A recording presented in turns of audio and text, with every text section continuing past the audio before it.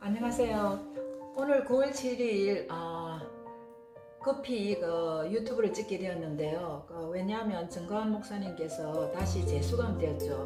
어, 그래서 저희 해외 자유 시민들이 어, 긴급 어, 해외 동포 성경서를 발표하게 되었습니다.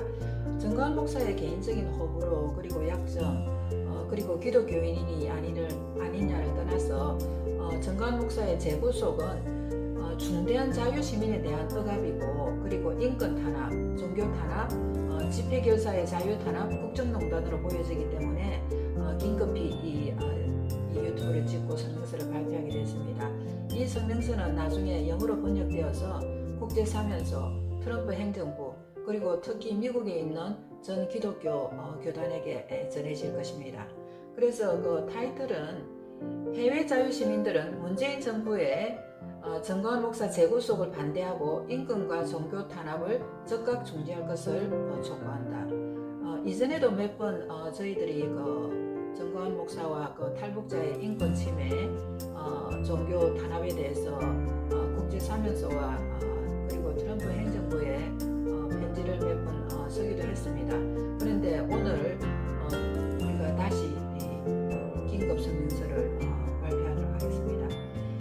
이슨 잠깐 이제 배경을 설명하면요. 2020년 9월 7일 문재인 정부는 정가운 어, 사랑제일교회 목사를 다시 재수감하였다. 법원이 신문도 없이 보석 때 정한 조건을 어겼기 때문에 전격 보석을 취소하고 재구속한다고 했다. 그 조건 중에 재판 중인 사건과 관련될 수 있거나 위법한 일체의 시위나 집회에 참가해서는 안 된다는 조항을 어겼다고 한다. 전 목사는 지난 4월 15일 21대 국회의원 선거를 앞두고 강화문 광장 집회 등의 사전 선거 운동한 혐의로 혐의와 문재인 대통령에 대한 명예훼손 혐의로 올해 3월에 기소되었다. 수사 과정에서 구속된 전 목사는 재판 중 보석으로 풀려, 놨다 다시 재구속된 것이다. 어, 많은 사람이 알다시피 전 목사는 굉장히 그 건강이 안 좋죠. 이목에 그 수술을 해가지고 철 같은 거를 어, 어, 넣고 다니시는 분입니다. 그래서 자유해외 동포들은 다음과 같은 이유로 전 목사의 재구속, 주, 재구속은 부당함을 어, 밝힌다. 첫째, 정광훈 목사는 2019년 여러 이제 세계적 어, 정말 세계적 시민혁명을 주도를 해왔죠. 어, 그리고 2020년 어, 8월 15일에는 어, 집회를 주도하기보다는 이제 참여를 했죠. 그래서 이런 반정부 데모는 바로 자유시민들의 헌법에 보장된 자유민주 대한민국을 지키려는 국민 저항권이 발동된 국가 비상사태 선언이었습니다. 이런 국가위기에 정건 목사님이 어, 손수 나서서 오직 대한민국의 정통과 주권을 지키려 어, 나섰고 이에 자발적으로 동의한 대다수의 자유시민이 그분에게 헌법을 초월한 모든 시민 저항, 의무의 권한을 부여한 것입니다. 그래서 정부가 어, 올바른 일을 하지 않을 때 그 저항은 의무가 되는 거죠.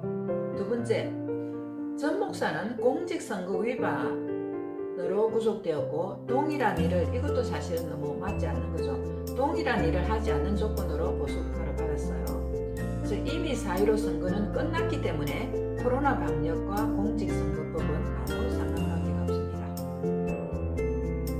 번째, 8.15 행사는 법원으로 합법적인 허가를 받은 시민들의 자발적이고 평화적인 반정부 시위였고 어, 전 목사는 한 단체에 소, 초청되어 10분 연설로 바로 강화, 강, 강당을 떠났습니다. 오히려 8.15 행사 때 그 경찰들의 과잉 진압으로 두 명의 시민이 다쳐서 어, 병원에 입원한 걸로 저는 알고 있습니다. 네 번째, 정거한 목사는 오히려 그의 교회 회원들이 집회 참석하는 것을 금지했고 정부의 코로나 방역 지침을 어느 단체보다 잘 지키고 자발적으로 방역을 해왔다고 합니다. 다섯 번째, 코로나는 잠복기가 있기 때문에 8.15 집회로 코로나가 번졌다고 하는 것은 허위 사실이다. 8월 12일 중국인을 받아들인 것이 코로나 재발의 주 원인임을 모든 의료인들이 증명하고 있다. 이거는 누가 봐도 과학적이고 합리적인 사고죠. 8월 10일 날 중국인들이 들어오고 5일 동안 잠복기가 있어서 8월 15일, 16일부터 확진자가 늘게 된 것입니다. 그래서 8.15 어, 집회하자마자 확진자가 늘었다는 것은 어, 과학적인 그런 증거가 아닌 것이죠. 따라서 우리 해외 동포들은 사실 전 목사의 재구속은 재구속은 다분히 다음과 같은 다른 이유가 있다고 어, 보고 어, 봅니다. 첫째, 문재인 정부의 대국민 저항을 막으려는 수책이다.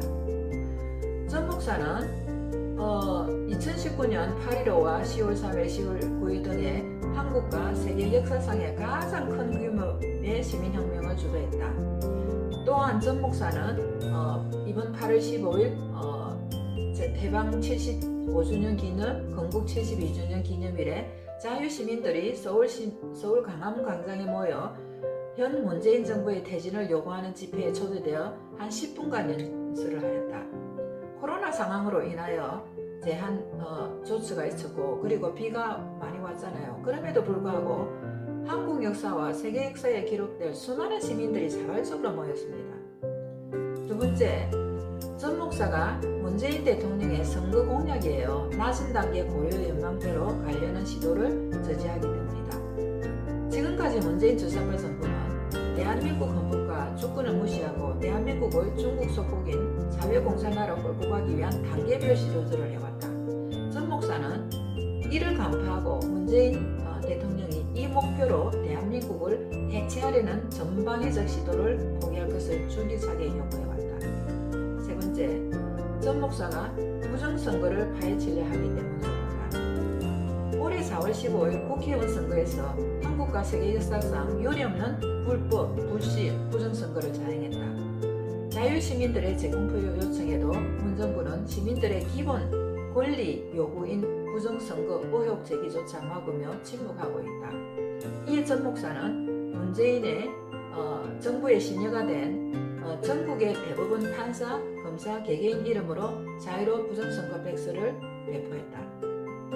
네 번째, 코로나 방역에 대한 책임을 변명으로 일사보며 정치 방역으로 몰고 있는 정부는 정거한 목사와 그 교회를 다시 속죄양으로 만들어 현재 문재인 정부의 지지율 하락과 자유로 부정선거 등의 정치적 공군과 속임, 속임에서 벗어나려는 술적으로 보인다.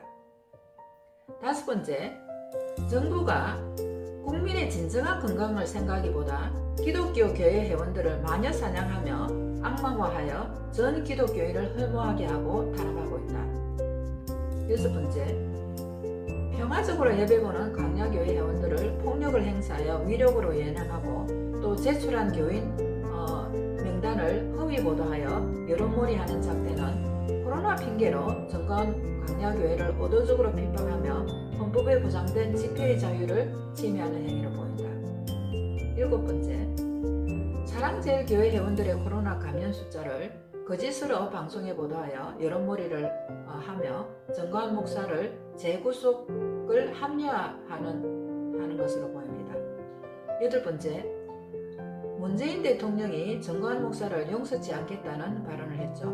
이것은 협박에 속하며 이에 따른 검찰의 보석 취소와 법원의 재구속 결정은 바로 정치적 명령을 받 분리, 입법, 사법, 상권 분리가 다 없어진 거죠. 아홉 번째, 코로나 방역에, 방역에 불공평하고 이율 배반적 잣대를 들이댄다. 민노총 집회에는 간대하며 박원순 전 시장 어, 장례는 허가하고 실내 집회와 다른 유흥과 비치 모임은 허가하는 비일관된 규칙을 적용한다. 무엇보다 이번 코로나 재발은 8월 10일 중국인 입국 허용에서 시작된 명백히 문정부의 중국 공산당, 문정부와 중국 공산당의 책임이다. 위와 같은 10가지 이유로 해외 동포들은 정거한 목사님에 대한 재구속은 문재인 정부의 코로나 방역 실패 포함 여러 정책 실패에 따른 엄청난 국민적 분노를 전 목사와 그의 교회로 희생양 삼아 책임 전가하려는 시도로 보인다. 또한 인권 침해, 종교 탄압, 집회 결사의 자유 탄압, 그리고 국정농단으로 간주된다. 방송 매체들은 정관 목사와 교회에 대해 허위 보도로 음해하며 8.15 집회 숫자를 축소 또는 편파적 어, 보도를 멈추고 즉각 사실대로 보도하길 촉구한다. 또한 대한민국 국민과 야당은 더 이상 문정부의 코로나 방역을 이용한 정치 방역 프레임에 속지 말기를 바란다. 해외 사회 시민들은 문재인의 이번 전목사의 재구속으로 전 세계 기독교